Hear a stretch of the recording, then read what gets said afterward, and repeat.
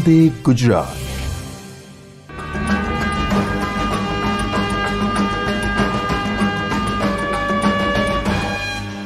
નમસ્કાર, વિદ્યાર્થી મિત્રો. વિદ્યાર્થી મિત્રો, આગળના એકમમાં તમે ખોરાક વિશે કંઈક શીખ્યા. બરાબર ને? અને એના માટે તમારા શિક્ષકશ્રીએ તમને ઘણી બધી પ્રવૃત્તિઓ પણ કરાવી. બરાબર ને? તો આજે આપણે ધોરણ છના વિજ્ઞાન વિષયના પ્રકરણ બે નો અભ્યાસ કરીશું અને એના વિશે વિગતે માહિતી મેળવીશું. શિક્ષક મિત્રો માટે આ એકમની અધ્યયન નિષ્પત્તિઓ સ્ક્રીન પર છે.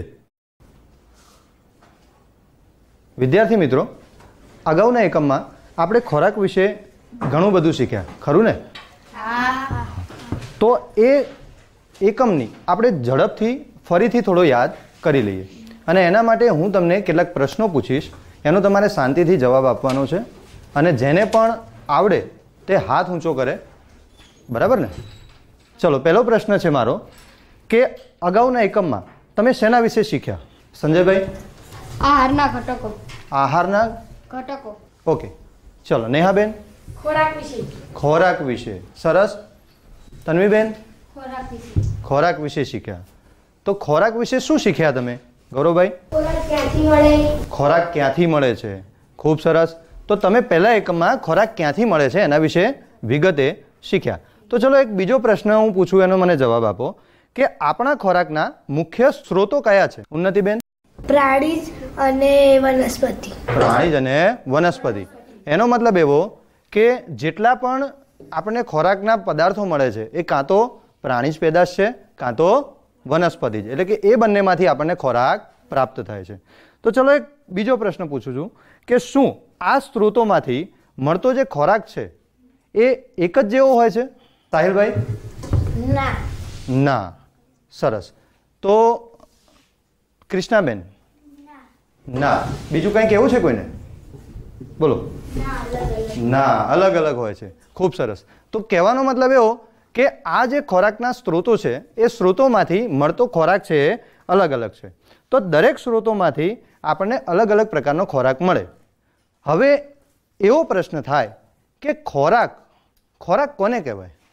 નેહાબેન? જે આપણે આહારમાં લઈએ છીએ તે. જે આપણે આહારમાં લઈએ છીએ તે.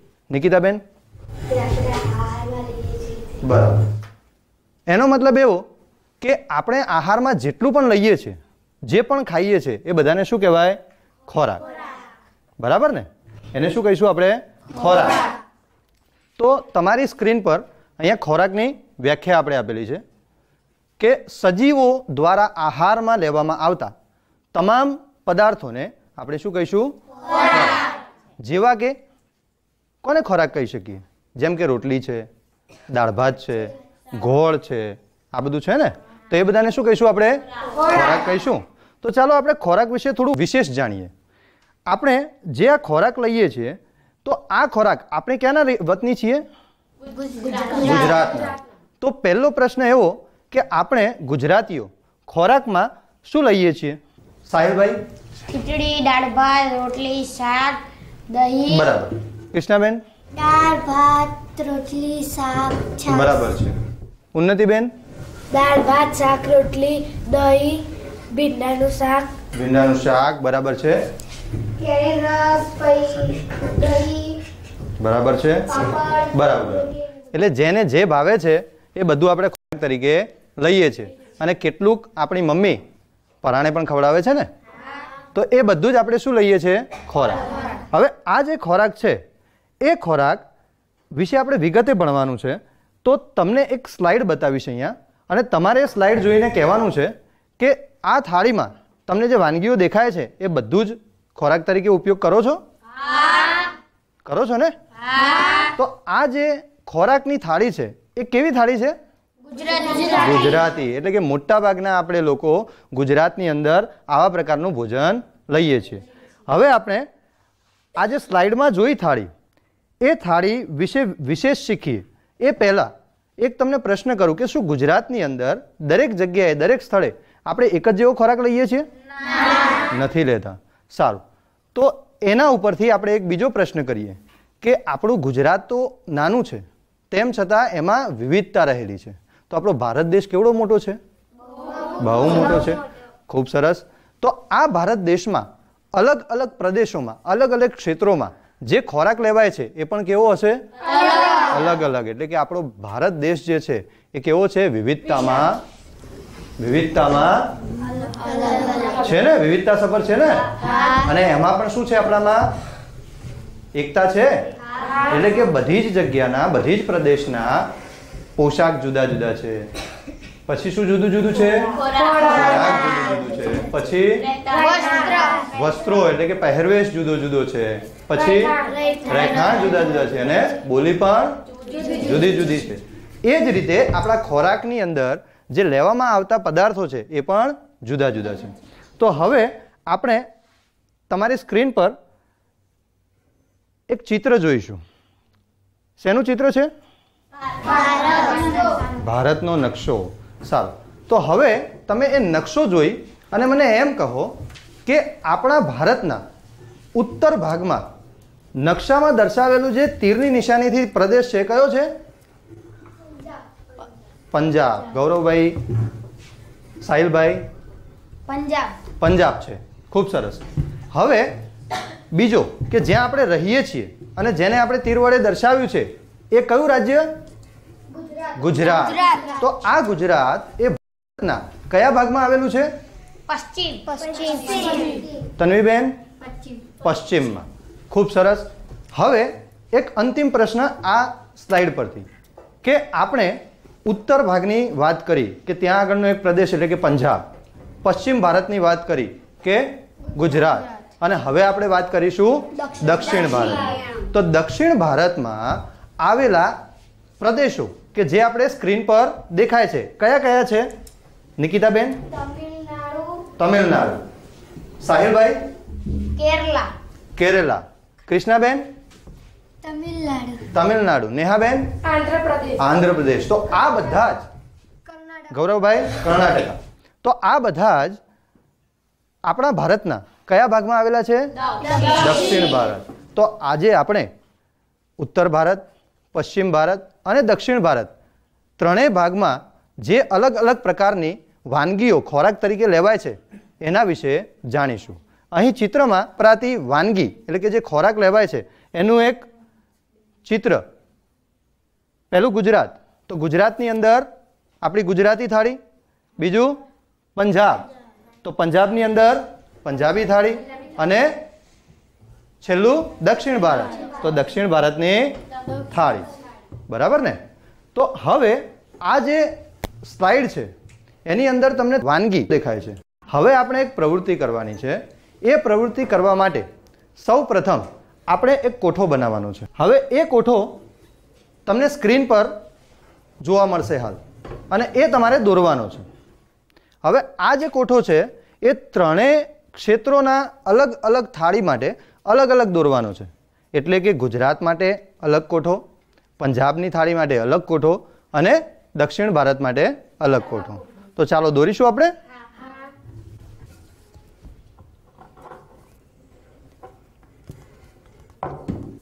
હવે કોઠો દોરાઈ ગયો હશે. દોરાઈ ગયો છે? બધાને કોઠો દોરાઈ ગયો છે? સારું.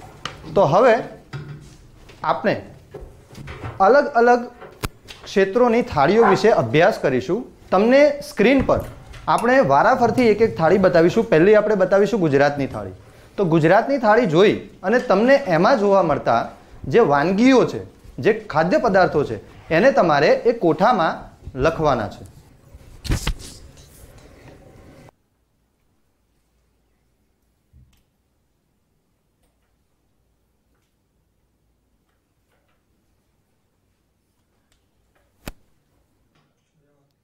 વિદ્યાર્થી મિત્રો,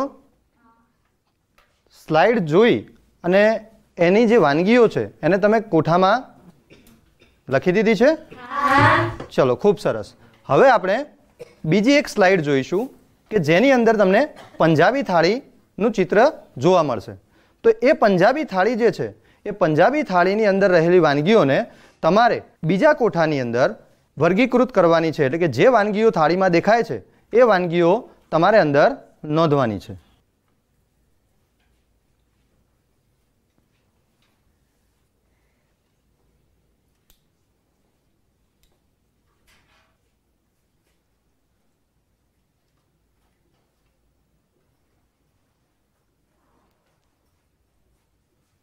નોંધી દીધી? સાહિલભાઈ, નોંધાઈ ગઈ? ઠીક છે. તો હવે ખૂબ સરસ. હવે આપણે આગળ ત્રીજું ક્ષેત્ર, એટલે કે દક્ષિણ ભારત. તો આપણે દક્ષિણ ભારતની થાળી સ્લાઇડ પર તમને બતાવવામાં આવશે અને જે રીતે તમે ગુજરાતી થાળી અને પંજાબી થાળીમાંથી વાનગીઓને અલગ અલગ કોઠામાં નોંધી, એ રીતે દક્ષિણ ભારતની પણ વાનગીઓને આપણે નોંધીશું.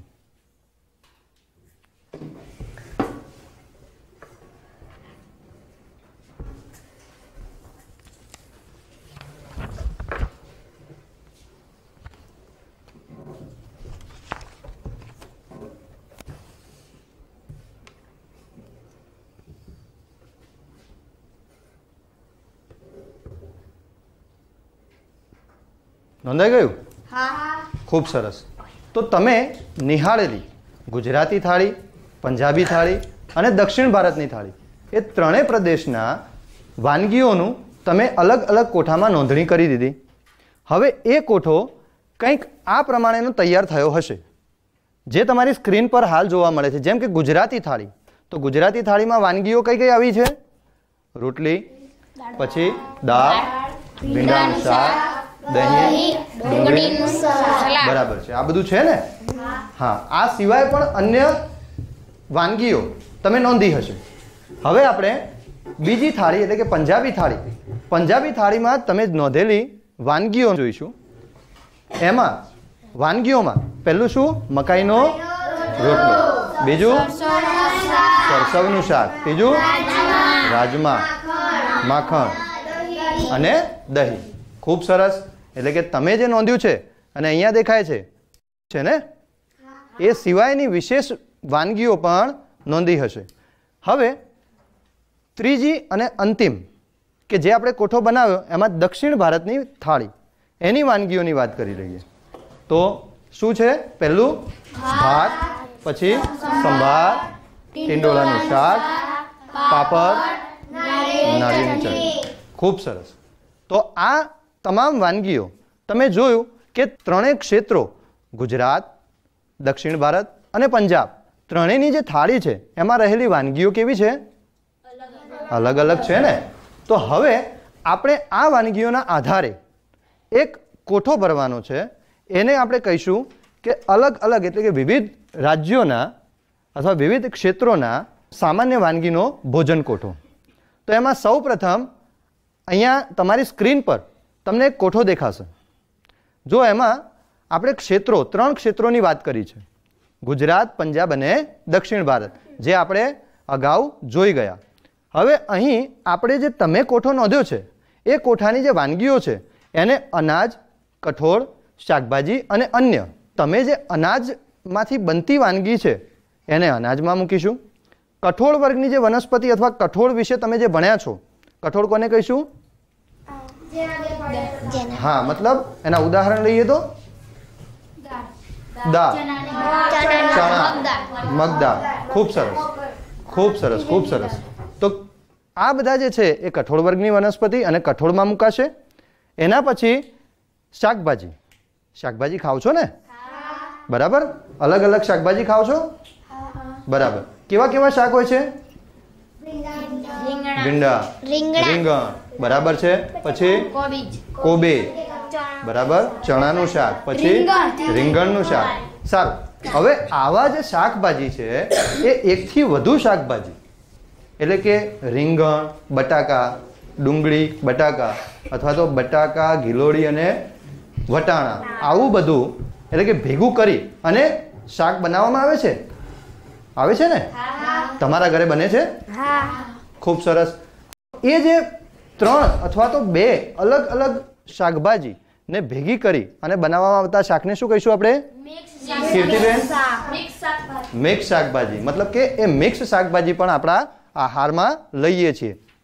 એના પછી છેલ્લે અન્ય. અન્યની અંદર કઠોળ અનાજ અને શાકભાજી સિવાયની વસ્તુઓ. જેમ કે? નિકિતાબેન?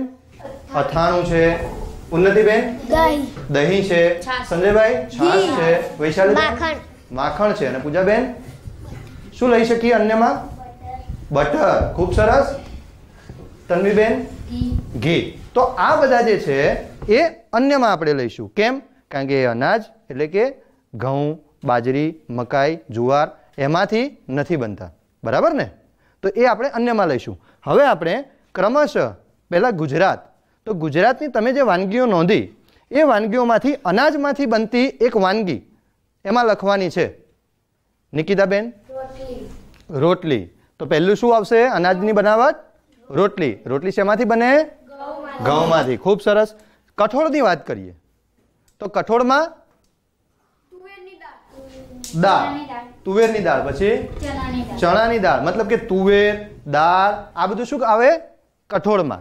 તો કઠોળમાં શું આવશે? દાળ અને ચણા. એના પછી શાકભાજીની વાત કરીએ. તો શાકભાજીમાં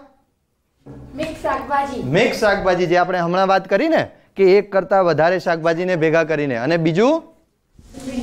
ભીંડાનું શાક. તો એ ભીંડા પણ એ શાકભાજીમાં આવશે. અને એ સિવાયના અન્યમાં? અન્યમાં? દહીં. પછી અથાણું ઘી સલાડ. બરાબર ને? એ બધું શેમાં આવશે? અન્યમાં. આ વાત થઈ ગુજરાતની. તો ગુજરાતની આપણી જે થાળી છે એમાં પણ આપણે વૈવિધ્યસભર ખોરાક લઈએ છીએ.